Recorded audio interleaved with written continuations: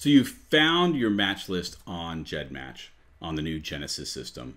And now you want to compare your specific kit with somebody else's specific kit. How do you do that?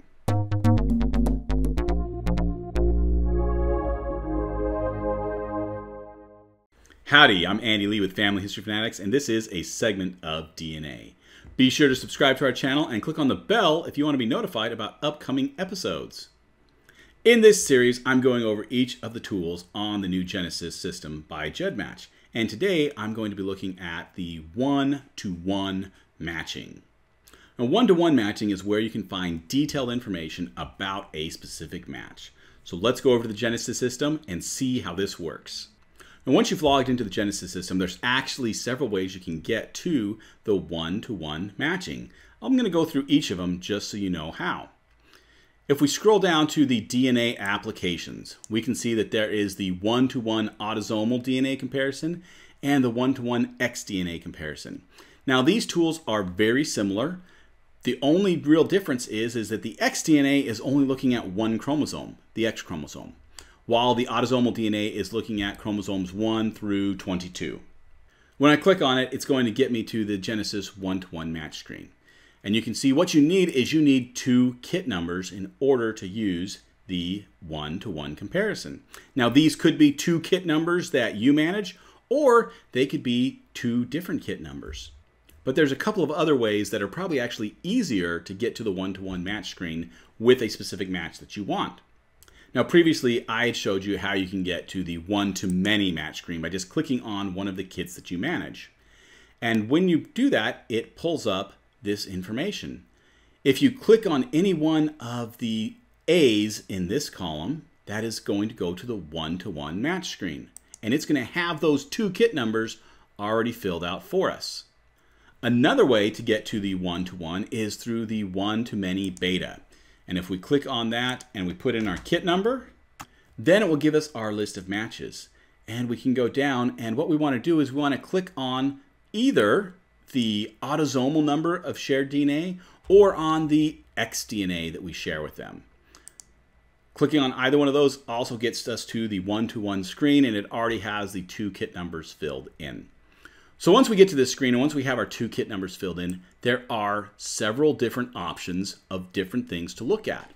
Now the first one is the show whether you want to have the graphics in the position, just the position, or just the graphics. Let's take a look at what each one of those shows. So the first is with graphics and position. And what it does is it goes through each one of the chromosomes and there's going to be a little table here with the segments that you share. Then there'll be a graphic that is displaying what those segments are, and that goes through all 22 chromosomes. At the top is the legend of what each one of those colors mean. Now, if I just wanted those positions, I didn't necessarily want the graphics, I can click on the position only, and it will give me just this one table that has all of those segments. So if you are taking segments and making your own table of matching segments, then this is really what you would do because then you could easily copy this whole table, paste it into your program, and be able to have those matching segments. It's also useful if you use DNA Painter in that you can copy those segments and paste that directly into DNA Painter to paint your different segments.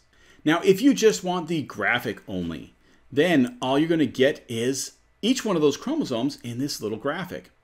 Now, I use each one of these functions in different ways because sometimes I'm looking at DNA by the tables. Sometimes I want to have the computer take those numbers and manipulate them. Other times I'm looking at the graphics for a quick visual of how we might be related. Now that is the basic information. The next option is the builds that you want to display, whether you want to display build 37, 36, or 38. Now it defaults to build 37, but what this really does is it just changes what the position is for a lot of these things. So each one of these builds uses a little bit different example. And so the numbers are slightly different. So you can see in this first one, this goes from 14.7 million to 24.2 million. Whereas in build 37, it's 14.8 to 24.4. And in build 38, it's 14.5 to 24.0.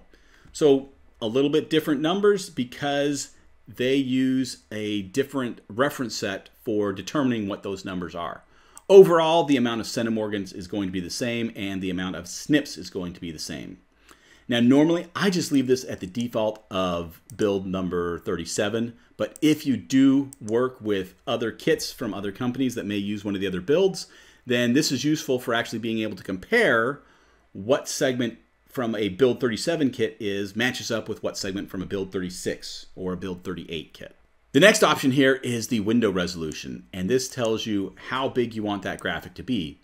Now it defaults at 1000, which is 1000 pixels wide. And so let's just take a look at the graphics. And on this screen here, you can see that 1000 pixels wide takes up almost the whole screen, not completely, but almost the whole screen. If I go back and I change that down to 750, well now my bars are all shorter.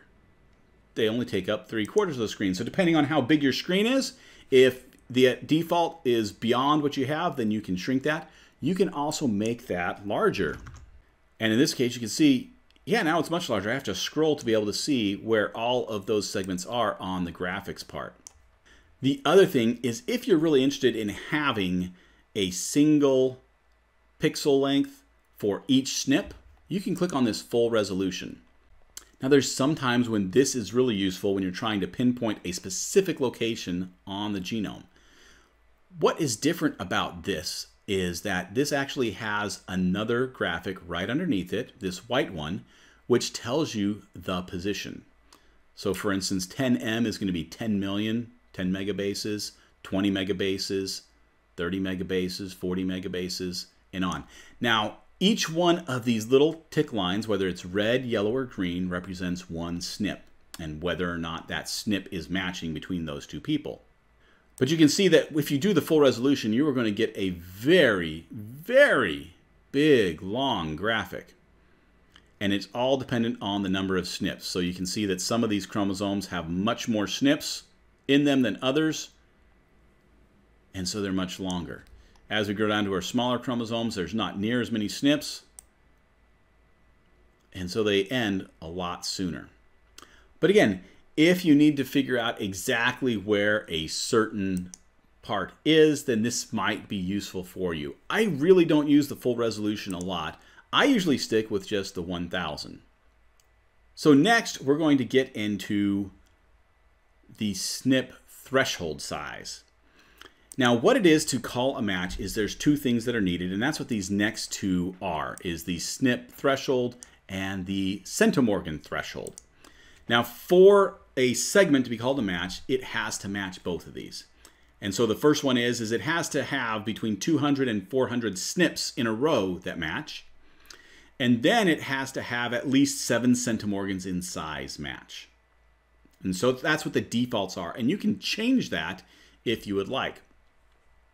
So let me just take a look real quick here because I want to see something that I can change that you'll see a definite change. All right, so here on chromosome number two, I have a segment that is only 7.9 centimorgans long, and it is 834 SNPs long. And so it's calling it a match because both of those are above 7 centimorgans and above that 2 to 400 SNPs. So what if I change this SNP limit to 900? Well, now when I go down here, I can see that that segment on chromosome number 2 is gone because it doesn't meet my SNP limit. It's still 7.9 centimorgans, but it doesn't meet my SNP limit. The same thing if I take away that SNP limit and I put in, let's say, 10 centimorgans. When I go down, that segment is still gone on chromosome number 2 because it doesn't meet that 10 centimorgan SNP limit that I have. So where would you want to use these? Well, there's a couple of cases you would want to use this. First off, if you have endogamy in your family, meaning that you have lots of relatives that might have been third or fourth or fifth cousins that just intermarried over a long period of time, meaning you share a lot of the same DNA. And that means a lot of these segments might be just common throughout the entire population. In that case, you might want to change your segment size from 7 to 10 or even 15, in which case now it's going to eliminate any segments that are smaller than that, So hopefully what's left is just going to be the ones for those more closely related, about three to five generations away from you. The other time that you might want to change the SNP window is if you have kits that don't share a lot of SNPs. So if you watch that one-to-many video, there was some kits with overlap that only had about 50,000 SNPs. Now, Genesis, for the most part, has adjusted for this. But what we can find is that if we put a smaller SNP limit in, and if we put a smaller segment size limit in, we're going to find more segments. The more likely it is when we share a lot of SNPs, then these segments are probably more just false matches or matches just because we're from the same general population. So let me show you. I'm going to actually change this SNP threshold to 100 and I'm going to drop my minimum segment size down to 4. Now you can see already on chromosome number 1 there's this 5 centimorgans right at the beginning of that chromosome that was only 171 SNPs. So it falls below what that centimorgan threshold is. And you can see here's some other ones that are below that. And so it's finding some of these other segments that are much smaller. So if you're going to use the SNP threshold size, make sure you understand what it is useful for. Again, if you have a kit that you don't share a lot of segments with, then it's useful to change that SNP size down to a lower level to hopefully find some more segments. But if you already share a lot of SNPs, if you're over at 100,000, then it's probably not going to be very useful because it's going to find a lot of little segments that aren't really matches. So this next one is called the mismatch bunching, and this is actually related to the SNP size. It defaults by taking that SNP size and dividing it by 2. Let me show you what I mean by the mismatch bunching. So when the computer is looking at a match, it is looking to see that it has at least a half a match continuously for that time, but it allows for some mismatching. You can see in this match right here, I have a half match over this 24 to 72 megabases section of chromosome number three. It's 51 centimorgans long. And it looks like there's one little red mark right in the middle there, but it's not been divided up into two segments. What that means is that the computer is going to look for the first mismatch. And the first mismatch, it's going to basically create a marker.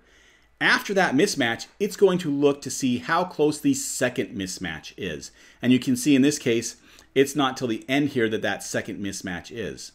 If that mismatch is closer than half of the SNP limit, the SNP threshold, that was that 200 to 400, then it's going to cut it off and say that, hey, it's no longer a match. And so in this case, there probably was not another one in the right range, and that's why it kept this all the way through. And you can see that as you go down, there's lots of different segments that might have one solitary one, or sometimes even two solitary ones. Here on chromosome number 13, you can see a good example of where it found a first mismatch, and then shortly thereafter, it found a second mismatch. And there likely was not, you know, that 100 to 200 SNPs in between those two. And so it actually calls that a little no match in that area. Now, if you change that bunching limit, it's going to change whether or not it calls this a no match. So let's see if we can actually change the values so that it is not a no match in that area, but it's actually a match. So in order to do this, what I'm going to do is I'm going to define my SNP threshold. I'm going to put my SNP threshold at 500. And I'm going to make my bunching limit at 100. Let's go down to chromosome number 13. And we see, hey, at those levels, it is still a mismatch. Let's try to change that down to 50 now. And there at 50 as a bunching limit, you can see those two red marks still show up, but it's no longer called a no match in that section. So now this is calling the entire thing one great big section. Now, why do these mismatches happen? Sometimes those mismatches happen just in processing the DNA, and so they may be they may be errors where it actually is called incorrectly. Sometimes it's just because those are close together and there was different recombinations right in the same area. And so those really are multiple segments. Now that's something that when you get more knowledgeable about how to analyze DNA, that you may use these bunching limits and the SNP window. For probably most of your analysis, you're not going to use those. Now the next one is to show fully matched segments. And this is those areas where you fully match people. So you really only want to use this when you know that you have siblings or double first cousins or something else where there is going to be a fully matched region. Because if I click on it right now, this is with me and my aunt, you'll notice that there's really no areas that we fully match, which is expected because she's only related to me on one side of my family. But if I come back and I do this same thing now with my mom and her sister, then it's going to highlight those areas that are fully matched areas. And so I can see, hey, what sections are fully matched. Now they also will have half matches on some other areas, but this gives me the fully matched segments. Now, if you are doing some visual phasing, then this is a great tool to quickly be able to grab those numbers as far as where that fully matched region is. Now, the last one is this prevent hard breaks. And this one might be a little bit difficult to understand, but it says that its default is to create a hard break when the distance between SNPs exceeds 500,000 base positions. Remember, on your genome, the companies have analyzed about 700,000 positions. Some of these are more evenly spread out, and in some cases, they're actually really far apart between one SNP and the very next SNP. And so what Genesis defaults to do is to create a hard break. So let me show you what this might mean. As we're looking right here on chromosome number one, we can see that, hey, there is this segment right here that then it looks like there's a part of it where it is a no match. And most likely this is because this has created a hard break. There's a SNP and then there's about 500,000 bases before the next SNP. And so it's going to default and say, well, there's a break there because it really doesn't know whether or not it's a match in that area.